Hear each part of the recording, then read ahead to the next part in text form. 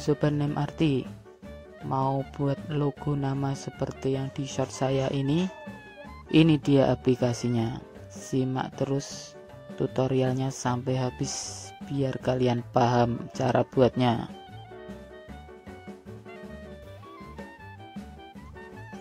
Oke, pertama langsung saja buka Play Store-nya.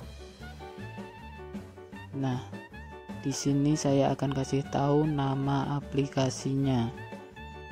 Dan pastikan kalian mendownloadnya terlebih dahulu di Play Store. Atau kalian bisa download versi Pro-nya di kolom deskripsi.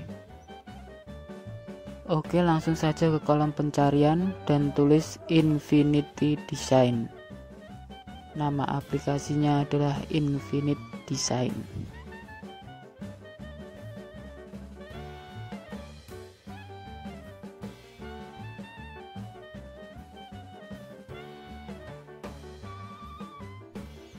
Oke, kemudian langsung saja kalian download aplikasinya. Di sini saya sudah mendownloadnya, jadi saya tidak perlu mendownload lagi. jika sudah kalian download langsung saja kita ke aplikasinya ya teman-teman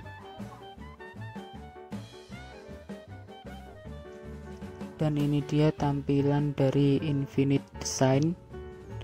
Untuk para subscriber saya yang tanya bang aplikasinya apa bang? Ini dia aplikasinya. Saya kasih tahu tutorialnya sekalian biar kalian paham. Pertama kalian buat proyek baru dengan ukuran tanpa batas kalian centang kemudian oke. okay. Untuk subscriber saya yang komen di video set saya bang buatin nama aku dong bang. Itu sabar ya. Buatnya itu nggak mudah. Jadi kalian harus sabar dulu.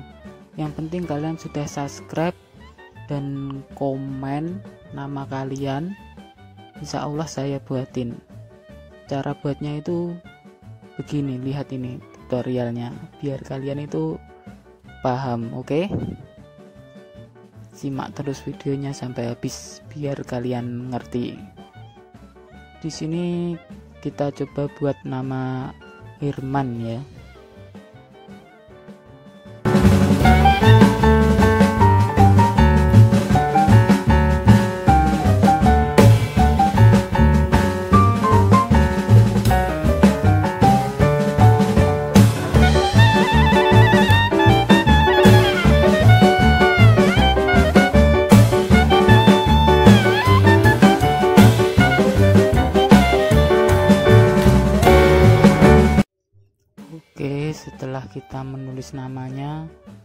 sesuaikan dulu kuasnya ya, teman-teman. Kita ubah kuasnya yang atas sendiri dan ukuran kuasnya kita sesuaikan terlebih dahulu. Kemudian kita coba coret-coret dulu apakah sesuai dengan ukuran yang kita inginkan atau belum jika belum kita sesuaikan lagi ukurannya. Kemudian kita coret-coret lagi. Jika sudah sesuai kita buat coret-coretan terlebih dahulu.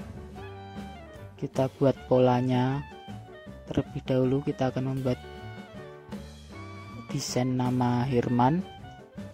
Kita buat hanya dulu jadi kita harus memikirkan desain yang mau kita buat ya teman-teman. Kita buat coret-coretannya dahulu.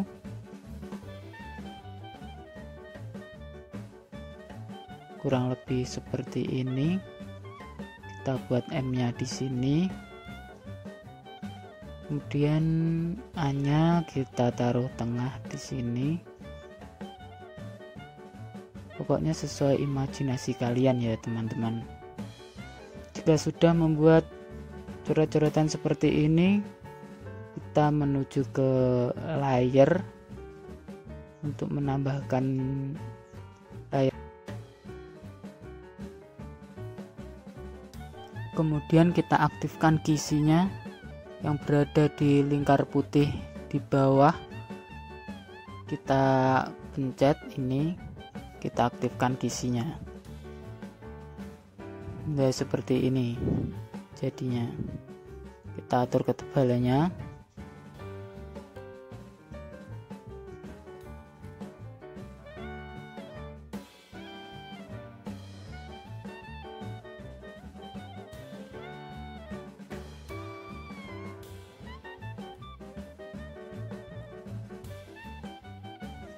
kemudian kita lanjut ke layer yang atas. Kemudian kita kurangi opasitasnya agar menjadi remang-remang.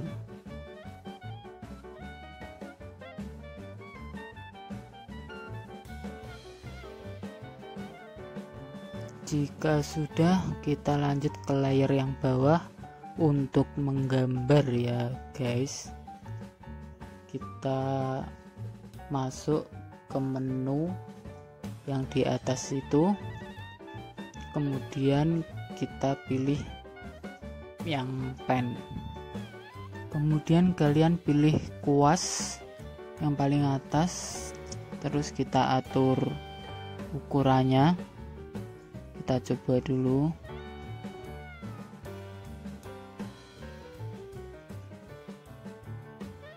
Jika sudah sesuai, kita langsung gambar mengikuti pola yang sudah kita buat. Jadi kita menggunakan kisi agar bisa lurus ya teman-teman garisnya. Kita ikuti saja pola yang sudah kita buat. Kita bisa rubah bentuknya tapi kita pakai yang paling atas saja untuk garis-garisnya ini ada banyak sekali tipenya. Tapi saya sarankan pakai yang ink dan yang paling atas sendiri. Oke kita lanjut membuatnya. Kita buat garis hanya dulu. Setelah membuat garis harap dicentang ya teman-teman. Biar tidak hilang kemudian kita buat garis baru lagi. Kemudian kita centang. Seperti itu ya caranya. Jika ada kesalahan coretan yang kita buat tadi kita bisa perbaiki di sini. Di sini tadi saya bikin E nya terbalik ya. Saya akan perbaiki. Jadi seperti ini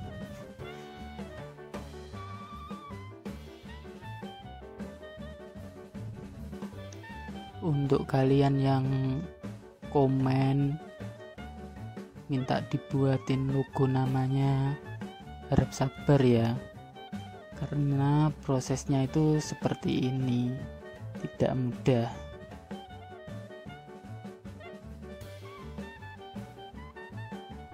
Lanjut kita buat R nya ya teman-teman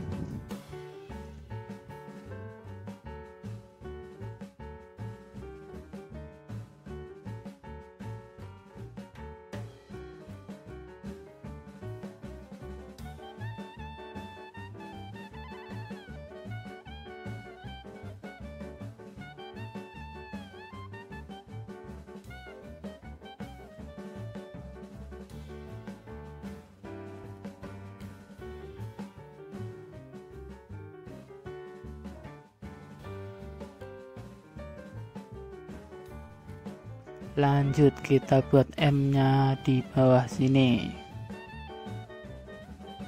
Kita sesuaikan dengan polanya ya teman-teman. Di sini saya buat sesederhana mungkin. Yang penting kalian paham. Kalau saya buat bagus-bagus nanti waktunya kelamaan ya teman-teman. Ini sekedar uh, supaya kalian paham aja kurang lebih caranya seperti ini lanjut kita buat A nya di tengah sini ya teman-teman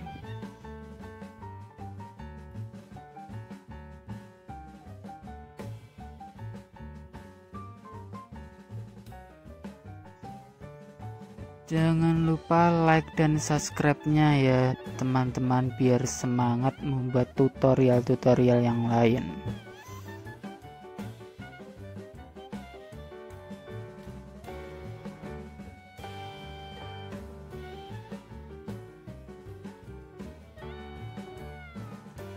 Oke terakhir kita buat N nya di belakang sini ya teman-teman.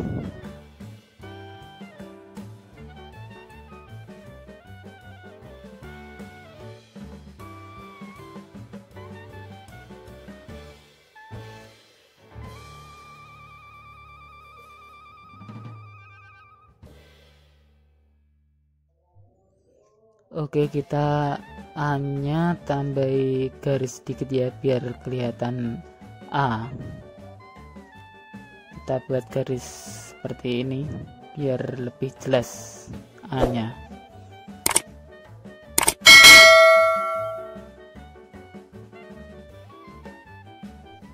Kemudian kita pergi ke layout kita matikan kisinya ya teman-teman karena kita sudah selesai menggaris-garisnya kita matikan gisinya. Jadinya seperti ini.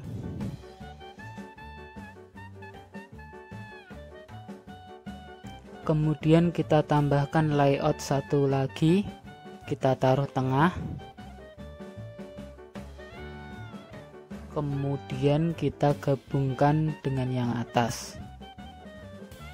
Seperti ini opasitasnya kita ke 100% dan ginilah jadinya. Selamat mencoba.